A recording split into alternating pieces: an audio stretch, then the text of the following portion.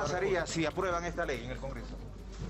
Habría medio millón de reservistas frente al Congreso y los combinaríamos a derogarle inmediatamente. Antauro Humala lanza un dardo al Parlamento desde Cusco y es en respuesta al proyecto de ley presentado por el congresista Carlos Anderson para que sentenciados por homicidio y secuestro estén impedidos de postular a la presidencia. Estos imbéciles del Congreso, con ese poder putrefacto, dan pena dan pena igual que, eh, igual que el Poder Judicial, igual que el Ejecutivo.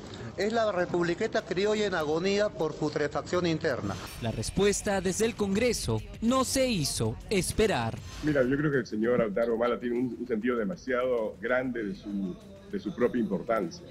Esta ley no tiene nombre propio. Pero no solo Carlos Anderson ha criticado estas amenazas. La congresista Carol Paredes de Acción Popular también alzó su voz.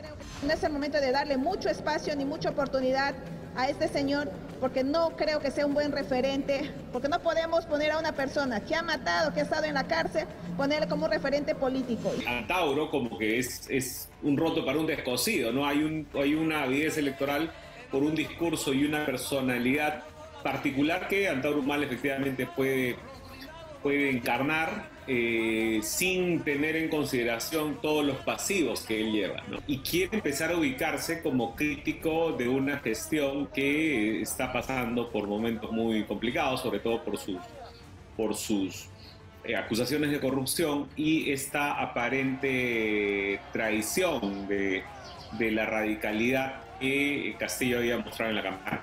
Ese radicalismo, Antauro Humala, viene mostrándolo por las regiones del sur desde que dejó la prisión. Así, empezó con una caravana de etnocaceristas en Andahuaylas, el epicentro del andahuaylazo, ocurrido hace 17 años y que costó la vida de cuatro valerosos policías. Asesinatos por los que Antauro Humala estuvo preso después de 17 años para agradecer al pueblo de Andahuaylas durante las elecciones presidenciales del 2021, tanto en Apurímac como en Cusco, los votantes apoyaron a Pedro Castillo incondicionalmente, con más del 80% de sus votos. Hasta ahora, eh, el sur es uno de los bastiones de Castillo. En general, en todas las encuestadoras, en el sur aparece sistemáticamente muy por encima del medio nacional. Ese mismo electorado que hoy empieza a cuestionar la confianza de la palabra de maestro, las investigaciones de presunta corrupción en su entorno y el incumplimiento de las demandas con los peruanos de las zonas rurales del país serían el talón de Aquiles para sostener el respaldo de Pedro Castillo en esta zona sur del país. Ahora le puedo decir compatriotas, la historia nos da la razón. ¡Viva el carajo! ¡Viva! ¡Viva el democratismo! ¡Viva!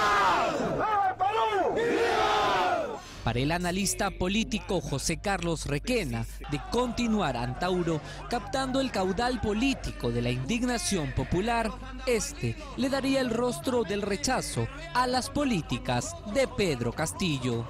Si es que Humala persiste en hacer un activismo en particular en el sur y se consolida como, como el líder de, esa, de ese sector, pues quizás también podríamos estar frente a la movilización social que por ahora no se ve en contra de Pedro Castillo. La excarcelación de Humala aún no está del todo clara. La Defensoría del Pueblo ha pedido al INPE investigar las presuntas irregularidades de su liberación. De comprobarse las denuncias, Antauro podría volver a la cárcel.